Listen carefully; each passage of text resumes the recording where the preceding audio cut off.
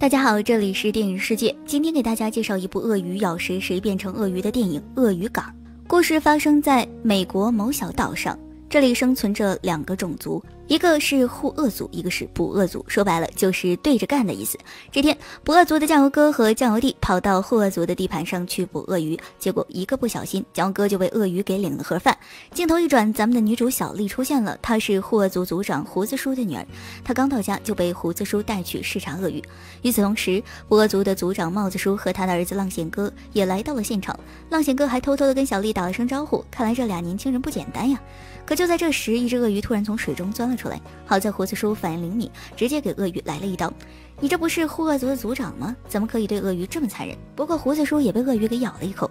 晚上聚会的时候，酱油弟匆忙的跑了进来，说这里有一只吃人的鳄鱼，你们赶紧去报警吧。很快，警察赶到了现场，在简单询问了情况后，决定深入案发现场看一看。可走到一半，警察短毛妹就被鳄鱼给领盒饭了。与此同时，小丽和浪险哥正在湖里玩起了鸳鸯浴，可这美好的一个时刻竟然被一声尖叫给打断了。原来是酱油弟被鳄鱼给袭击了，吓得两人是一颤一颤的撒腿就跑。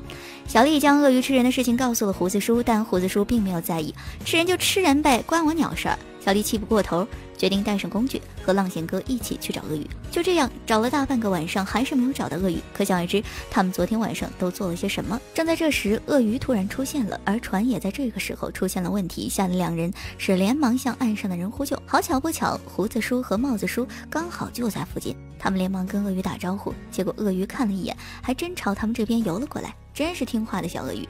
胡子叔趁机打死了鳄鱼，没想到这一枪引来了陆地上更多的鳄鱼，他们被鳄鱼团团围住。就在这生死一线，浪险哥的船竟然能开了。组长带着一帮小弟坐上了船，却把浪险哥和小丽给推进了湖里。果然是亲生的老父亲，好样的！好在中途碰上了警察大老黑，才幸免于难。时间一天天过去，被鳄鱼咬伤的胡子叔一直觉得不对劲儿，伤口不但没有愈合，反而还长起了鳄鱼皮，简直是太恶心了。终于在一天晚上，胡子叔变成了一只鳄鱼。而小丽和浪险哥正准备在树林里搞事情的时候，却偶遇了袭击。因为是小伤口，浪险哥并没有在意，继续和小丽搞在一起。镜头一转，警察大老黑找上门来，刚好在浪险哥家看到了小丽。大老黑就说了：“你家的族人全都不见了，也不知道是怎么回事，只看见一条小鳄鱼，难道是鳄鱼前来复仇了？”小丽赶紧往家赶。不料在半路深陷沼泽，可就在这时，一只鳄鱼慢悠悠地走了过来，吓得小丽是一颤一颤的，不知道该如何是好。鳄鱼张大了嘴巴，一颗金灿灿的金牙闪闪发光，小丽立马断定这只鳄鱼一定是她的爸爸。果不其然，鳄鱼并没有敌意。而是把他救了上来就走了。小丽将事情告诉了帽子哥，帽子哥一听才恍然大悟，原来这一切都是他们将化学药剂倒进湖里，才让这只鳄鱼产生变异的。正在这时，被袭击过的浪险哥也变成了鳄鱼，但变成鳄鱼的浪险哥并没有恶意，反而保护起了自己的父亲和小丽。就这样，浪险哥干掉了一只鳄鱼，而自己也被干死了。镜头一转，小丽的父亲鳄鱼出现了。经过一番厮杀，父亲鳄鱼和帽子哥通通去领了盒饭，而小丽也将那些变异。的族人给炸死了。